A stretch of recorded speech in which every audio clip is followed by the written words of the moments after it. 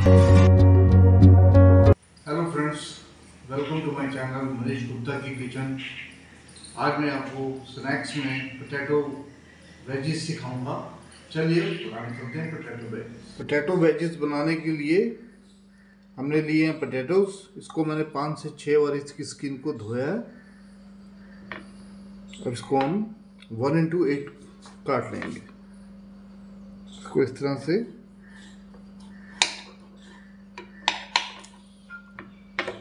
और फिर यहाँ से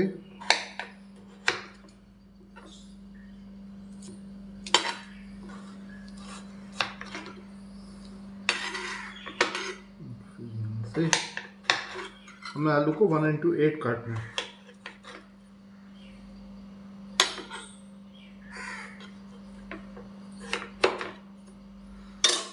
इसको पानी में डाल देंगे।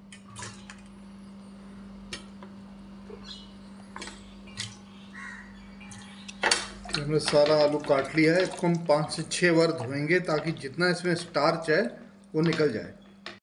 बोलो। अब हमने ये आलू बॉईल करने के रख दिया है। हम इसको पाँच से सात मिनट इससे ज़्यादा नहीं रखेंगे। और चालीस से पचास परसेंट इसको कुक करेंगे। ये मैंने एक कटोरी के करीब मैदा लिया है। इसमें हम डालेंगे ऑर्गेनो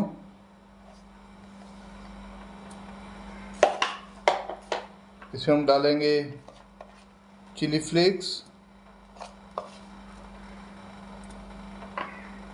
इसमें डालेंगे ब्लैक पेपर पाउडर। इसमें डालेंगे हम नमक। अब इसका पतला सा एक बैटर बनाएँगे। इसको इस तरह से मिक्स कर लेंगे। मिक्स करने के बाद इसमें हम डालेंगे पानी। इसमें हम डालेंगे पानी। और इस तरह से इसको हम खोल देंगे और डालेंगे इसमें पानी हम।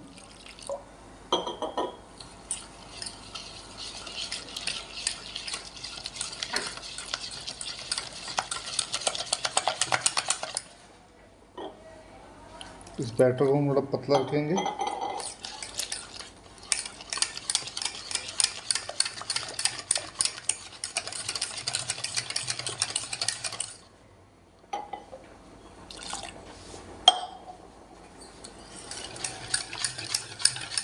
और ये इसकी कंसिस्टेंसी है।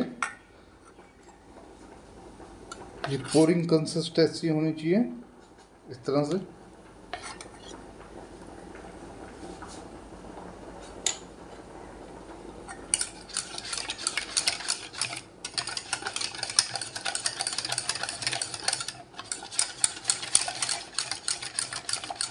अब हम कढ़ाई में रखेंगे तेल। हमारा आलू वहाँ से फोर्टी से फिफ्टी परसेंट हो गया है। ये हमारा आलू हो गया है इसको हम मैंने गैस से उठा लिया और इसका पानी को स्ट्रेन कर लेंगे हम। हमारा बैटर बन गया है। इस बैटर में हम ये आलू इस तरह से डिप करेंगे और इसको ऑयल में डाल दें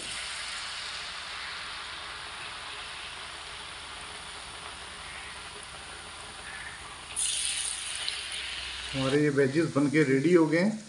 इस तरह हम सारे वेजेस को बना लेंगे। ये हमारे पटेटो वेजेस बन के रेडी हो गए हैं। इसको मैं टोमेटो सॉस के साथ सर्व कर रहा हूँ। आप चाहो तो कर्ड की एक डिप बनती है, जिसमें आप गार्लिक को टॉस करके कर्ड के अंदर डाल के वो एक गार्लिक कर्ड डिप बनती है। उसके साथ भी सर्व कर सकते हैं।